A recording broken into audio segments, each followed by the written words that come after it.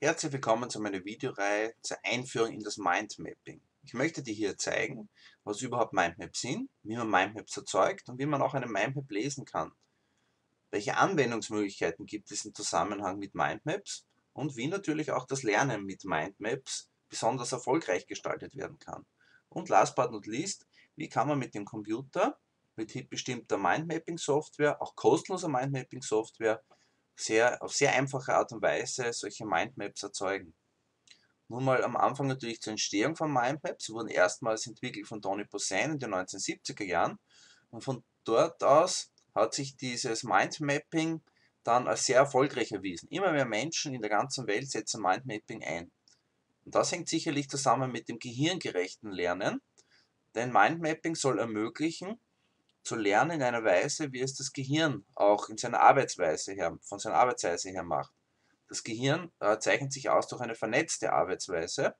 Das Denken ist hier nicht linear. Man kann es vielleicht am besten damit erklären, indem man auf Bücher verweist. Wenn man ein Buch liest, dann liest man in der Regel erst von vorne nach hinten. Linear, das heißt der Reihe nach. Und beim Denken schaut das aber anders aus. Wenn ich mir eine Frage stelle, bringe ich aus verschiedenen Bereichen, die ich in meinem Leben erlebt habe, verschiedene Gedanken, die ich da entwickelt habe, bringe ich da zu dieser Frage dann in Verbindung. Und ich muss nicht mehr all meine Erinnerungen und mein Wissen der Reihe nach dann abrufen. Das heißt, unserem Denken entspricht das Mindmapping, beziehungsweise das Mindmapping entspricht unserem Denken. Man kann Mindmaps darstellen als Netzwerk von Ideen und Themen. Wenn du diese Mindmap hier betrachtest, dann siehst du auch, dass es von der Mitte her dann mehrere Linien gibt. Man könnte das als auch ein Netzwerk betrachten. Und von dieser zentralen Frage aus, diesem Hauptthema aus, in dem Fall hier was sind Mindmaps, werden dann verschiedene Hinweise dann in diese Mindmap dann eingetragen. Diese visuelle Darstellung als Netzwerk mit den unterschiedlichen äh, Feldern, mit den unterschiedlichen Themen, mit den unterschiedlichen Knoten, ermöglicht uns eine einprägsame Darstellung von Wissen. Wir können dieses Wissen das wir hier mit Mindmaps festhalten, leichter aus dem Gedächtnis abrufen. Darüber hinaus macht Mindmapping natürlich auch Spaß und damit in Verbindung steht natürlich dann der Hinweis, dass es hier kreative Möglichkeiten gibt, Mindmaps zu gestalten. Wir haben die Möglichkeit, diese Begriffe unterschiedlich anzuordnen, unterschiedliche Farben zu verwenden. Und das macht natürlich Spaß. Wenn wir zum Aufbau einer Mindmap kommen, dann kann man hier den Vergleich mit einem Baum ähm, sehr gut anbringen.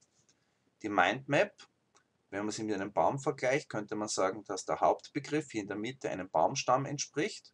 Und diesen Hauptbegriff nennt man auch das Hauptthema. Und von diesem Baumstamm, von diesem Hauptthema aus, verzweigen sich dann alle Zweige dieser Mindmap. Und diese Äste haben dann unterschiedliche Bedeutungen, nämlich insofern, dass diese Äste dann in verschiedene Zweige münden. Das heißt, hier haben wir hier dann die Äste, das sind die Oberbegriffe, wie hier zum Beispiel hier ein gerechtes Lernen oder Vergleich mit einem Baum, oder zum Beispiel hierarchischer Aufbau hier herüben oder Lesen von Mindmaps. Und daran anschließend gibt es dann verschiedene Unterbegriffe, verschiedene Zweige. Und diese Zweige kann man dann, wenn man sie weitergeht, weit, das Bild weiterspinnt, kann man dann zu den Blättern kommen gewissermaßen. Das sind dann die Schlüsselbegriffe oder auch Schlüsselbilder, könnte man hier einfügen. Wenn man sich das anschaut, dann kann man hier sagen, dass diese Frage noch sehr allgemein ist. Und wenn man weiter dann in diesem Ast dann voranstößt, das heißt immer weiter äh, diese Zweige nachgeht, dann wird man erkennen, dass es immer detaillierteres Wissen ist, was in diesen Mindmaps festgehalten wird. Wenn ich also nur einen Überblick äh, von einem Thema bekommen möchte, dann schaue ich mir das Hauptthema an und nur hier diese Oberbegriffe. Darüber hinaus kann natürlich auch beim Vergleich mit einem Baum gesagt werden, dass wir ein Wachstum haben. Das heißt, diese Mindmaps können sich verändern, wie auch jeder Baum sich verändert. Sie können erweitert werden und haben dementsprechend eine offene Struktur. Es ist nicht von vornherein klar, welches Aussehen diese Mindmaps haben werden. Wenn du eine Mindmap erstellst, dann kann sie ein bestimmtes Aussehen haben. Und wenn jemand anderer zum selben Thema eine Mindmap erstellt, dann wird äh, diese Person, dieser Mensch, dann zum selben Thema eine Mindmap machen. Sie wird aber unter Umständen ganz anders aussehen, weil dieser Mensch auch anders denkt. Und diese Denkweise drückt sich dann auch aus in diesen Mindmaps. Kommen wir zum hierarchischen Aufbau. Diese Begriffe, die wir einbauen, haben unterschiedliche Bedeutung. Eine größere Bedeutung könnte man sagen, hat die größte Bedeutung hat hier das Hauptthema. Dann kommen hier die Oberbegriffen, wie hier gehirngerechtes Lernen.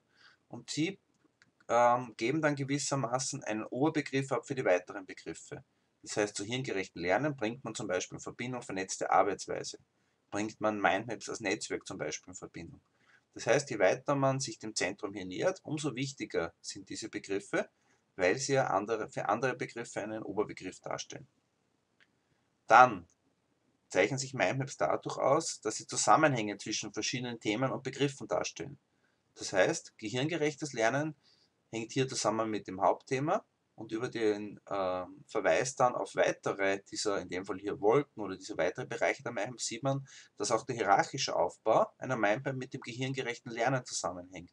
Das heißt, alles, was hier in der Mindmap festgehalten ist, hängt zusammen und dieses Zusammenhängen wird dadurch ausgedrückt, dass alle dann mit Linien dann mit dem Hauptthema dann letztlich verbunden sind. Wie kann man solche Mindmaps lesen? Man liest sie in den meisten Fällen, also nicht immer, in den meisten Fällen im Uhrzeigersinn. Das heißt, man fängt hier oben an und geht sie dann der Reihe nach durch. Man kann Mindmaps natürlich dann auch so anordnen, dass man da die ersten wichtigen Begriffe fügt, da den nächsten und so weiter. Aber es hat sich ähm, an und für sich so ergeben, dass man die meisten Mindmaps so machen, dass es da Reihe, also es praktisch im Uhrzeigersinn dann ihre äh, Begriffe anordnen.